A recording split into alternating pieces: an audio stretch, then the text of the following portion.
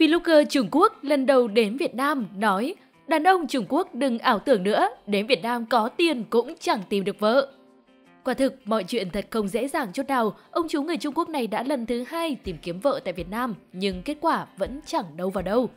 Đó là lời than thở của A Đông, một chàng trai làm nghề gieo duyên, khi anh ta giúp ông chú này tìm kiếm một người bạn đời phù hợp. Và xin chào các bạn thân thiết của Việt Nam Sugar. Các bạn thân mến, trong những năm qua, không ít đàn ông Trung Quốc đã tìm đến Việt Nam với hy vọng mua vợ. Tin rằng thì chỉ cần có tiền là sẽ dễ dàng tìm được bạn đời. Hiện tượng này phổ biến và đặc biệt ở các vùng nông thôn Trung Quốc, nơi tình trạng dư thừa nam giới cùng chính sách một con đã khiến nhiều đàn ông không thể tìm được bạn đời trong nước. Việt Nam với tỷ lệ phụ nữ cao và mức sống chưa quá phát triển trở thành điểm đến lý tưởng cho những ai mong muốn kết hôn với phụ nữ có giá trị cao nhưng không đòi hỏi quá nhiều điều kiện vật chất. Không ít người Trung Quốc còn tự tin cho rằng là có tiền là có vợ và không cần phải suy nghĩ quá nhiều. Tuy nhiên, những suy nghĩ ảo tưởng đã bị vả bồm bốp vì hiện thực phũ vàng. Mới đây, một vlogger nổi tiếng người Trung Quốc đã chia sẻ một video gây xôn xao giàu chuyến thăm Việt Nam, trong đó anh tuyên bố Đàn ông Trung Quốc đừng ảo tưởng nữa, có tiền cũng chẳng tìm được vợ ở Việt Nam.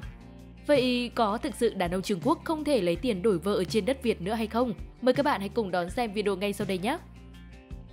Theo những chia sẻ thật tình của Á Đông, Mặc dù vấn đề hôn nhân môi giới vẫn tồn tại, nhưng Việt Nam hiện nay đã thay đổi rất nhiều so với trước đây, đặc biệt là ở các vùng nông thôn.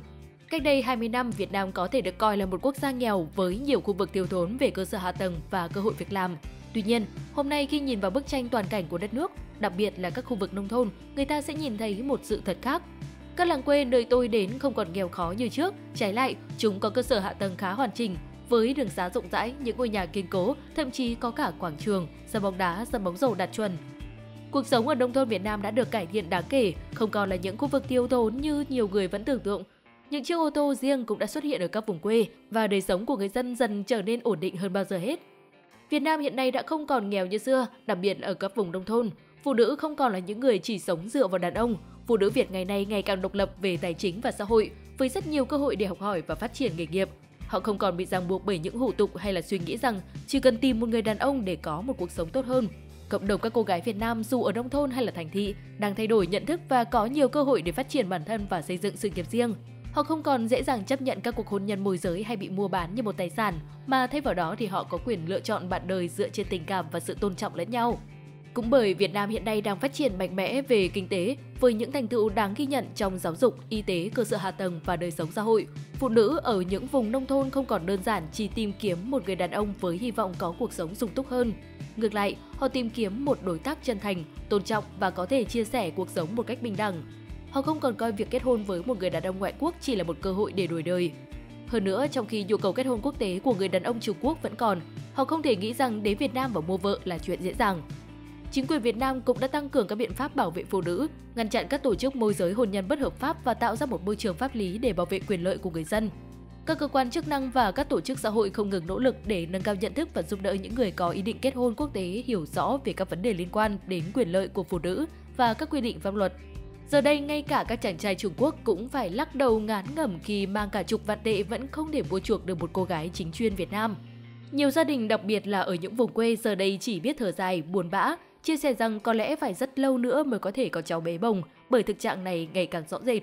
Nhiều thanh niên đến tuổi cập kê mà vẫn chưa có nổi một mối tình vắt vai. Thậm chí là hiện nay phụ nữ dù là người Trung Quốc hay ngoại quốc sinh sống tại đất nước tỷ dân đều được coi như là những báu vật. Chỉ cần một cô gái có nhu cầu tìm người bạn đời là đã có cả chục thanh niên đến còi mắt trong cùng một ngày. Và đương nhiên, trong những buổi gặp gỡ đó thì gia đình nhà gái sẽ đưa ra những yêu cầu khắt khe, đòi hỏi nhà trai phải đáp ứng đủ mọi tiêu chuẩn Ai không làm được thì chắc chắn là bị loại ngay, tỷ lệ bị loại không khác gì tỷ lệ trượt đại học ở Trung Quốc. Vậy thì tại sao tình trạng dư thừa nam giới ở Trung Quốc đã và đang là một bài toán khó giải của chính quyền Tập Cận Bình? Và sự phát triển của hôn nhân quốc tế giữa nam thanh niên Trung Quốc và những cô dâu ngoại quốc như thế nào?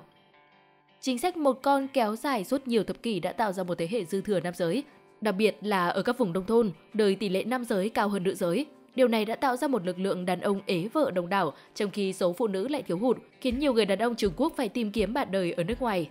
Việt Nam với dân số đông và tỷ lệ nữ giới cao hơn nam giới trở thành điểm đến phổ biến cho các đám cưới quốc tế này. Trong bối cảnh này thì các công ty môi giới hôn nhân quốc tế đã mở rộng dịch vụ kết hôn giữa phụ nữ Việt Nam và đàn ông Trung Quốc. Những công ty này thường xuyên tổ chức các chuyến du lịch kết hôn hoặc quảng bá trên các nền tảng trực tuyến để thu hút các cô gái Việt Nam tham gia. Họ hứa hẹn mang đến một cuộc sống giàu có và ổn định tại Trung Quốc Tuy nhiên, thực tế đằng sau những lời hứa này lại không như những gì mà nhiều cô gái tưởng tượng. Một trong những yếu tố khiến hiện tượng này phát triển mạnh là tình trạng khó khăn về kinh tế và xã hội ở nhiều vùng nông thôn Việt Nam. Phụ nữ, đặc biệt là ở các vùng nghèo, thiếu cơ hội việc làm và tiếp cận với nền giáo dục tốt, nên dễ dàng tin vào những lời mời gọi kết hôn với đàn ông Trung Quốc, với hy vọng có thể có một cuộc sống sung túc hơn. Tuy nhiên, thực tế lại không như họ tưởng. Sau khi kết hôn thì nhiều phụ nữ Việt Nam gặp phải những khó khăn lớn khi sống tại Trung Quốc, từ vấn đề ngôn ngữ, văn hóa đến sự khác biệt lối sống. Họ không thể hòa nhập vào xã hội Trung Quốc, nhiều người cảm thấy cô đơn, lạc lõng và không thể thích nghi với môi trường mới. Bên cạnh đó, các cuộc hôn nhân này thường phải gặp vấn đề về pháp lý. Chính phủ Trung Quốc và Việt Nam đều không khuyến khích các cuộc hôn nhân môi giới này, nhưng việc kiểm soát và xử lý lại gặp rất nhiều khó khăn. Thực tế thì một số công ty môi giới lợi dụng sự thiếu hiểu biết và hoàn cảnh khó khăn của các cô gái Việt để lừa đảo và ép buộc họ ký hợp đồng kết hôn mà không có sự đồng ý hoặc không hiểu rõ về những điều kiện hôn nhân.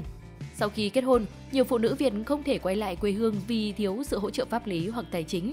Trước thực trạng này thì các tổ chức xã hội và cơ quan chức năng đã lên tiếng cảnh báo và tìm cách giải quyết vấn đề.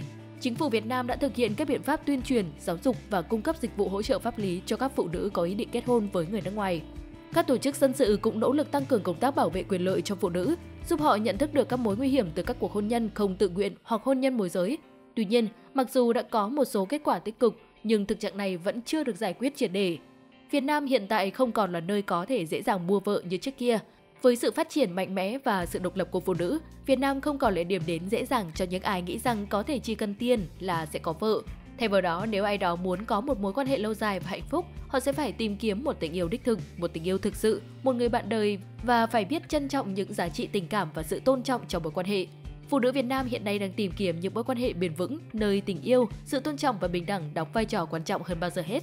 Việt Nam đã thay đổi rất nhiều và chính những thay đổi này đã giúp phụ nữ có quyền lực và tự chủ hơn trong việc quyết định cuộc sống của mình. Nếu như ai còn nghĩ rằng đến Việt Nam để mua vợ sẽ thành công, họ sẽ nhận ra rằng thời kỳ đó đã quá lâu rồi.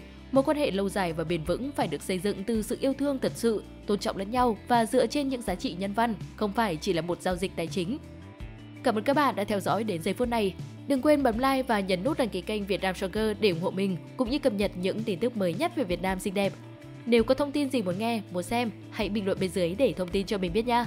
Mình luôn đón nhận những ý tưởng thú vị từ các bạn. Còn bây giờ, xin chào và hẹn gặp lại ở các video tiếp theo.